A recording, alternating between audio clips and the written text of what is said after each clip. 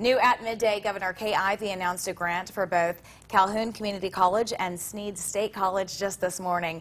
Calhoun will use the nearly $150,000 grant for an aerospace welding program. It will help fund programs that teach app development, aviation maintenance, and aerospace welding. Two grants totaling almost 230,000 will help Snead State Community College to provide two programs for students in both Blount, DeKalb, and Marshall counties.